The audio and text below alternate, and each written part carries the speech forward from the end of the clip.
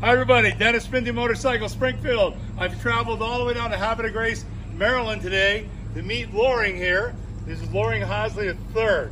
Now anybody that's an Indian historian knows that his grandfather was the president of Indian Motorcycles from about 1925 to 1940. Am I correct on that? That's right. He Yeah. was the vice president general manager. He worked for Paul DuPont. Yep. He's the guy that really brought the company through the Great Depression. He's a hero in Indian history. But anyhow, he has just donated me this 1970. It's got a Royal Enfield. They call this the uh, 750. What, what, they, what does the E stand for? E for Enfield. Uh, but I thought they had another name for the Interceptor. Interceptor. Oh, Interceptor. Interceptor 750. Now, this bike was built by Floyd Clymer. It's one of 15. It's a cool machine. It's got the Royal Enfield engine. It's got an Italian chassis. Got huge drum brakes on it. I forget the make on those. It's a great piece. I am super thankful for Loring here.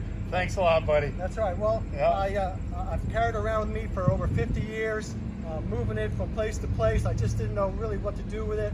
I didn't have the resources or the means to take care of it myself, but I didn't want to see it uh, fall into a, a demise in a junkyard or anything. So when I contacted Dennis here, uh, who said that he was interested, I knew he had the resources and the means to make this bike, uh, bring it back to shape that it, of its glory days. So that's all I ever dreamed of and hoped for this bike, and I'm so happy that we made contact and that you were able to come down and pick it up. So once Yeah. again, thank you. And one of the good things here is my grandfather worked for his grandfather.